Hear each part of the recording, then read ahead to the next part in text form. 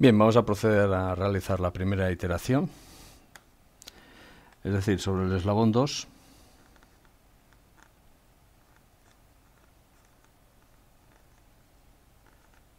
En la primera iteración vamos a calcular la fuerza cartesiana que se aplica sobre él desde el eslabón anterior y el par. Para ello, como siempre, aplicamos balance de fuerzas y hacemos sumatorio de fuerzas exteriores sobre el eslabón 2 es igual a cero. Dicho de otra forma, fuerza que desde el eslabón 1 se aplica a este eslabón 2 menos la fuerza que pierde este eslabón 2 aplicándose la carga más la masa del eslabón 2 por la gravedad igual a cero. Conocemos los dos segundos, los dos últimos sumandos, la fuerza que del eslabón 2 se aplica a la carga 3 y la gravedad. Por lo tanto, en la primera iteración vamos a calcular la fuerza que desde el eslabón anterior 1 aplicamos sobre este eslabón 2, despejando los otros dos sumandos en el segundo miembro de la ecuación. Nos quedaría positivo a la fuerza del eslabón 2 ejerce sobre la carga 3 y negativo la gravedad m sub 2 por g. Nos va a interesar proyectar esos vectores en la base vectorial 1 para despejar la fuerza deseada cartesiana en la base 1. Bien, pues procedemos ahora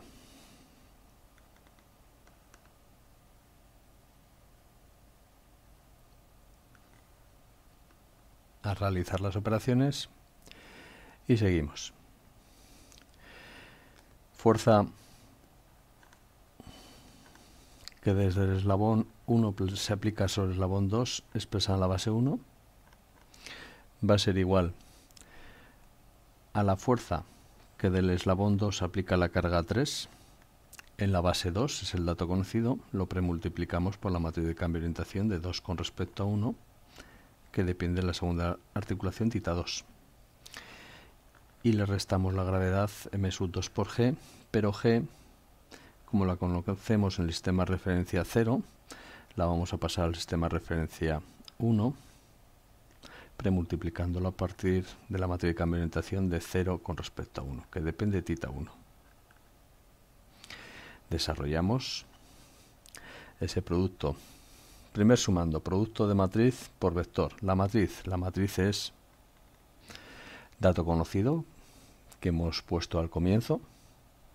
Matriz de cambio de orientación de 2 con respecto a 1, depende del ángulo tita 2 y es un giro en el eje z. Coseno tita 2 menos seno tita 2, 0. Voy por filas. Seno tita 2, coseno tita 2, 0 y 0, 0, 1 el dato de, la fuerza que ejerce la garra sobre el exterior lo conocemos, Fx, Fi 0. Y ahora la gravedad m sub 2 por la gravedad. La gravedad la calculamos a través de la matriz de cambio de orientación de 0 con respecto a 1. Nosotros teníamos como dato la inversa o traspuesta, dado que es una matriz ortogonal. Por lo tanto, transponemos la matriz conocida y nos va a quedar por filas coseno de tita 1, seno de tita 1, 0. Eh, aquí la segunda fila va a ser el signo, vamos a tener menos seno de tita 1, coseno de tita 1, 0 y 0, 0, 1. Y la gravedad en este caso está en el eje vertical y con valor negativo menos g. Hacemos el desarrollo de esa operación y nos va a quedar. Primer sumando, operamos y nos va a quedar fx coseno tita 2 menos seno tita 2 por fi o menos fi por seno tita 2 más 0. Segunda componente, seno tita 2 por fx o fx seno tita 2 más cosinetita 2 por FI, más FI, F sub i cosinetita 2 más 0. Y la tercera componente es 0 más 0 más 0. El segundo sumando, haciendo la operación, eh, va a quedar, en este caso vamos a hacer menos m sub 2, lo dejamos como está, y me va a quedar la matriz por el vector, me va a quedar primera componente cosinetita 1 por 0, menos g por senotita 1, menos g por senotita 1 más 0. La segunda componente va a ser menos senotita 1 por 0, menos g cosenotita 1 y más 0. Por lo tanto, menos g cosenotita 1 y la tercera componente va a ser 0. Sumamos esos dos vectores y ese es el resultado. El resultado total va a ser fx, primera componente, cosenotita 2 menos f sub i, senotita 2. Y luego en el segundo vector tenemos menos con menos más, más más a m sub 2 por g por el senotita 1. Segunda componente del vector resultante va a ser fx senotita 2 más f sub i senotita 2 he puesto lo he puesto correcto y luego me queda el menos con menos más me queda más m sub 2 por g y el cosenotita 1 y la tercera componente es 0 más 0 es 0 es decir este es el vector cartesiano de fuerza en el eslabón 2 f sub 2 x f sub 2 y f sub 2 z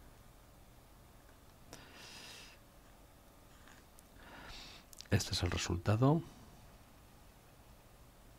de la primera iteración para calcular el vector fuerza, haciendo balance de fuerzas. Fuerza cartesiana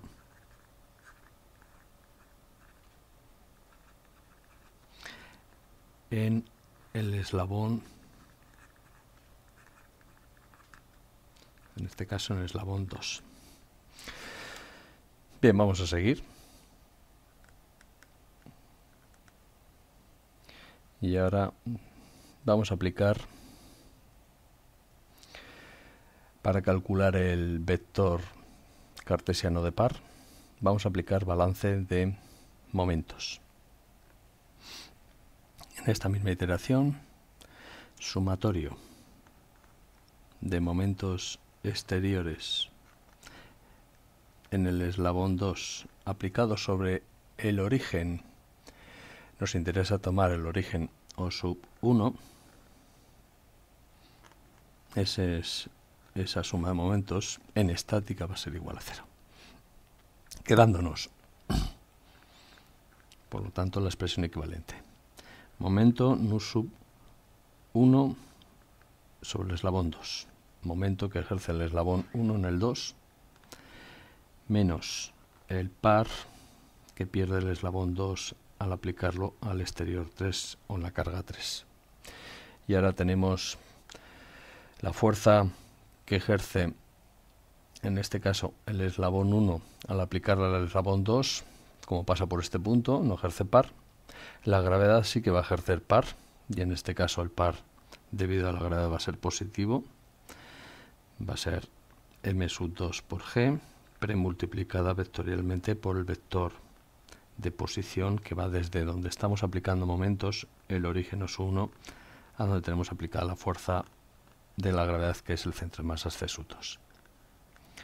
Y tendremos también la fuerza que desde el eslabón 2 se ejerce sobre la carga, esa fuerza es negativa, pues generará un par negativo fuerza que desde el bond 2 aplicó a la carga 3 va a generar un par negativo que se obtiene premultiplicando dicha fuerza por el vector de posición relativo desde el origen 1, que es donde estoy tomando momentos, al punto donde está aplicada esa fuerza origen a sub 2. Bien, de ahí esa expresión en estática es igual a cero y de ahí vamos a despejar en nuestro caso el primer sumando pasando los otros tres al segundo miembro de la ecuación. Vamos a seguir operando. Bien. Venga seguimos. Nuestra incógnita. Par cartesiano que el eslabón 1 ejerce sobre el eslabón 2. Nos interesa calcularlo en la base 1, por lo tanto los otros tres sumandos los pasamos al segundo miembro de la ecuación y los expresaremos la suma de esos tres sumandos en la base 1. El segundo par que pasamos al segundo miembro de la ecuación pasa con signo, en este caso negativo, y ese par es par generado por el vector, por, perdón, por la fuerza de la gravedad, m sub 2 por g, que se calcula premultiplicando por el vector relativo desde el origen OSU 1 al centro de masas C sub 2. Y el otro par pasa a ser positivo, que se calcula a partir de la fuerza que desde el eslabón 2 aplicamos sobre la carga, premultiplicado por el vector relativo desde el origen OSU1 al origen OSU2. Como esos vectores los vamos a calcular todos en la base 1, vamos a intentar obtenerlos en dicha base. El primer sumando, aunque es cero, nos lo van a dar como dato siempre, donde es constante, en la base 2, es decir, el par que del eslabón 2 ejerce sobre la carga 3 nos lo da en la base 2, lo premultiplico por la matriz de cambio de orientación de 2 con respecto a 1. No pongo que esa matriz depende de la variable tita 2, se sobreentiende. El segundo sumando, producto vectorial de estos dos vectores, los tendré que expresar ambos vectores en la base 1. El vector relativo desde el origen OS1, 1 al centro de masa C sub 2 es constante en la base 2, pues lo vamos a pasar a la base 1 premultiplicando por la matriz de cambio de orientación de 2 con respecto a 1. El vector conocido desde el origen OS1 a C sub 2 en la base 2. Vector que solo tiene una componente, la x, que vale a sub 2 medios. La gravedad vale m sub 2 por g y la gravedad nos la da en la base 0 por lo tanto, premultiplicamos la gravedad para pasarla de la base 0 a la base 1. Y el último sumando, ambos vectores eh, nos los van a dar en la base vectorial 2. El vector de posición relativo desde el origen OS 1 a OS 2 nos lo da en la base vectorial 2, lo mismo que el vector fuerza que ejerce la garra sobre el exterior nos lo da en la base 2. Bueno, pues esos dos vectores los vamos a pasar una vez hecha la operación, para hacerlo más sencillo, los vamos a pasar el resultado a la base vectorial 1 a través de la matriz de cambio de orientación. Repito, haciendo antes el producto vectorial de esos dos vectores que son conocidos en la base 2,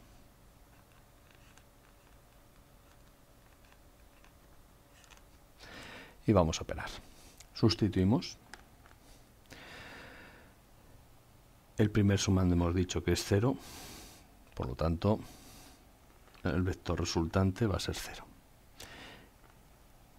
El segundo sumando tenemos una matriz de cambio de orientación de 2 con respecto a 1, coseno tita 2 menos seno tita 2, 0, seno tita 2, coseno tita 2, 0, 0, 0, 1. El vector relativo desde el origen 1 al centro de masas C sub 2 hemos dicho que valía a sus dos medios en el eje X y 0 y 0 en los otros dos ejes. Por producto vectorial la masa m sub 2 por la matriz de cambio de orientación. En este caso nos dan como dato, solemos conocer como dato la inversa o traspuesta a la que tenemos que aplicar aquí. Por lo tanto, invertimos la que tenemos arriba ya conocida, que es coseno de tita 1 y aquí tendremos seno positivo, seno de tita 1, 0. La segunda fila va a ser menos seno de tita 1, coseno de tita 1, 0. Y la tercera fila 0, 0, 1. Y la gravedad en este caso, en el eje Y, vale 0 menos G 0. Y el tercer sumando, primero aplicaremos la matriz de cambio de orientación, coseno de tita 2 menos seno de tita 2, 0, seno de tita 2, coseno de tita 2, 0, 0, 0, 1. Al producto vectorial y el producto vectorial de los dos vectores lo conocemos en la base de 2, lo operamos, lo operaremos primero. El primer vector de posición relativo es justamente la distancia del eslabón a sub 2 en el eje X y el vector fuerza que desde la pinza ejercemos sobre la carga es conocido y vale Fx, Fi y 0.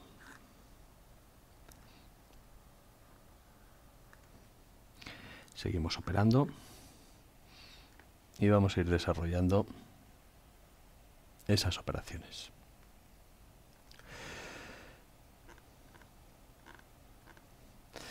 Empezamos por con signo negativo. Vamos a intentar aplicar operaciones, propiedades de matrices por vectores.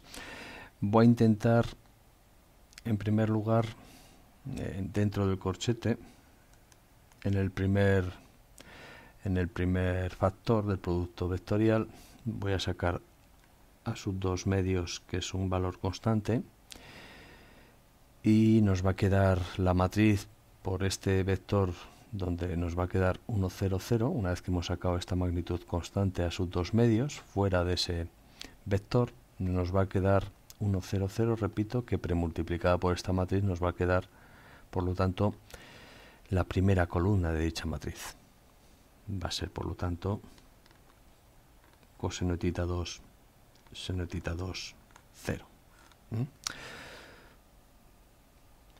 y el segundo factor de ese producto vectorial voy a hacer lo mismo la masa m sub 2 voy a hacer lo mismo con la gravedad menos g y nos va a quedar el vector 0 1 0 que al premultiplicarlo por esta matriz de cambio de orientación nos va a quedar en este caso la segunda columna. Senotita 1, cosenotita 1, 0. De esta forma nos vamos a limitar a multiplicar los dos vectores que tenemos en el producto vectorial y las magnitudes que tenemos delante las vamos a sacar fuera y realizaremos la operación de una forma más sencilla.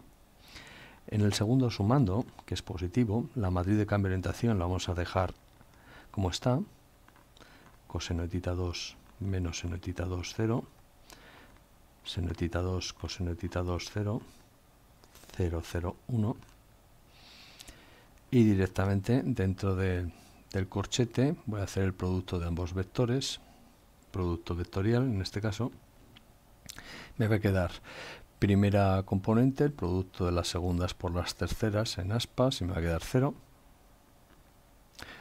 La segunda componente la obtengo multiplicando primeras y terceras entre sí en aspas y multiplicando el resultado por menos 1 me queda 0. Y la tercera componente se obtiene multiplicando primeras y segundas en aspas, es decir, sería a sub 2 por fi menos 0 por fx, por lo tanto a sub 2 por fi.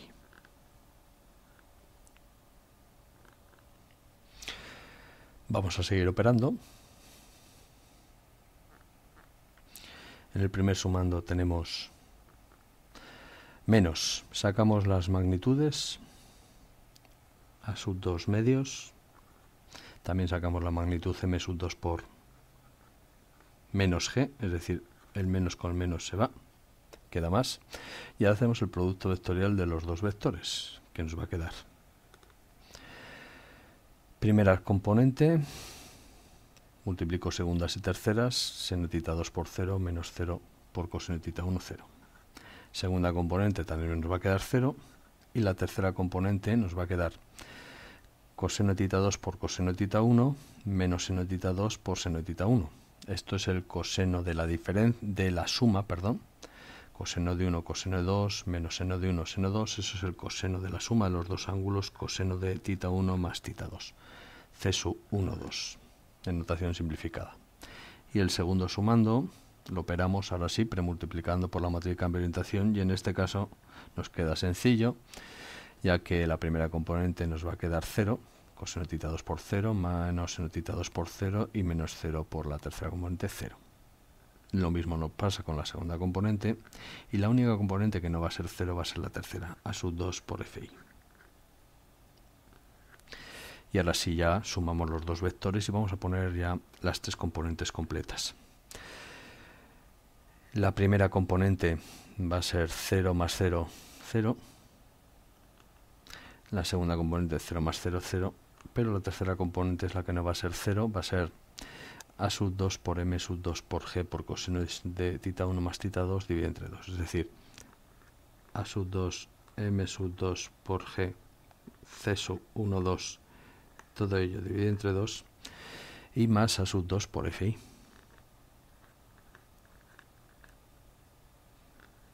Es decir, acabamos de finalizar el cálculo del par cartesiano del eslabón 2 nu sub 2x sub 2i y sub 2 z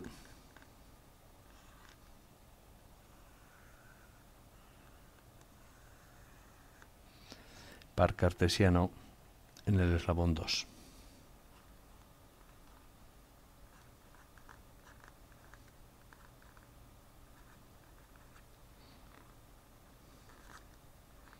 Ahora, en esta primera iteración, una vez ya que hemos calculado el par y la fuerza cartesiano, es el momento de calcular el par generalizado de la propia articulación.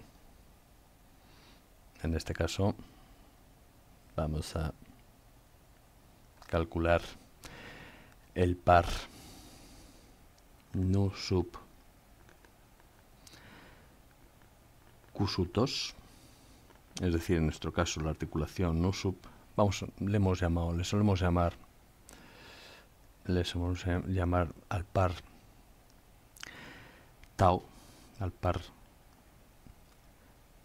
generalizado, tau sub q sub 2, para distinguirlo del par cartesiano, en este caso tau sub tita 2, que se calcula como el producto escalar de el par cartesiano, sus tres componentes, no sub 2x, no sub 2y, no sub 2z, por el vector columna 001, es decir, tratamos de discriminar y recoger solo la componente z de ese par cartesiano en el eslabón 2,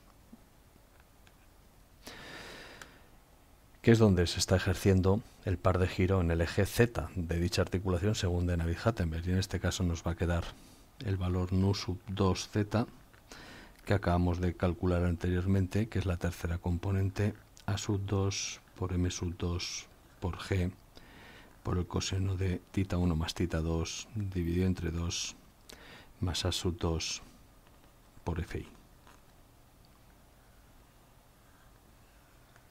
Bien, este es el resultado del par generalizado. Par generalizado, en este caso de tita 2. Y destacar que las otras cinco componentes, igual que hemos visto en el, en el ejemplo anterior, van a ser componentes que van a ser, eh, en este caso, eh, sustentadas por, por, la propia, por la propia resistencia del, del material del eslabón 2 acoplado al motor. Bien, en el siguiente vídeo vamos a hacer la segunda iteración. Gracias.